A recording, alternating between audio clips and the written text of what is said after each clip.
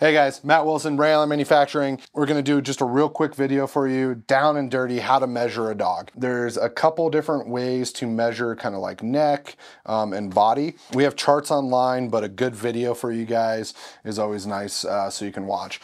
Um, I left the harness on the dog. Uh, the reason why I did that is so you can kind of see where it sits.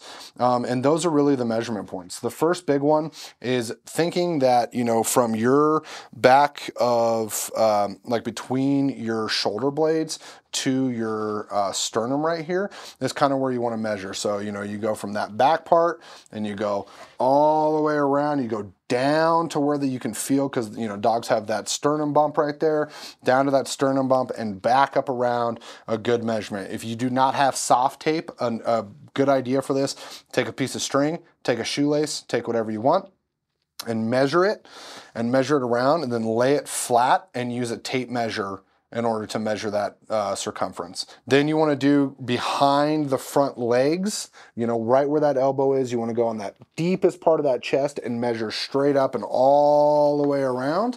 And then you want to take that last rib right before it goes into the soft part of the stomach where you see that kind of big dip right here, and you're going to measure that area. And then you're going to find those are the measurements for your dog. I usually suggest not to around your dog, uh, you know, make it to where it's snug, but it's not tight and it's not loose. You want kind of that middle ground because you want the you want the harness to be able to sit there.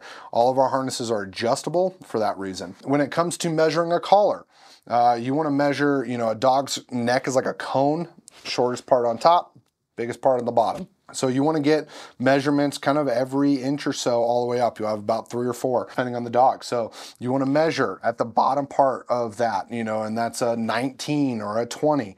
And then you want to go up and that's an 18. If you're measuring for a dominant dog collar from Ray Allen Canine, the big thing is it's up right behind the ears. You'll actually feel the slot that it should fit in and you're going to measure there. A lot of people, when they get dominant dog collars, they order, you know, what their collar size is, and then they got three or four inches hanging out there, which is not what a dominant dog collar is for. It's supposed to be snug, up, high, and tight.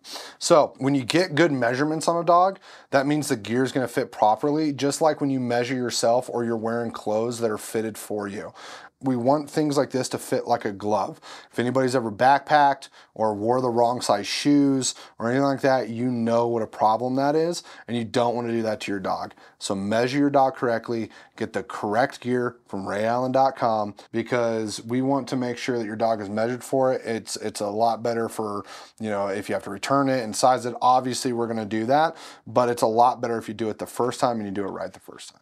All right? So that's how to measure a dog those three places, those three places, and it's literally that easy, and we'll uh, get you the right equipment for you. So thanks, guys. Have a good day.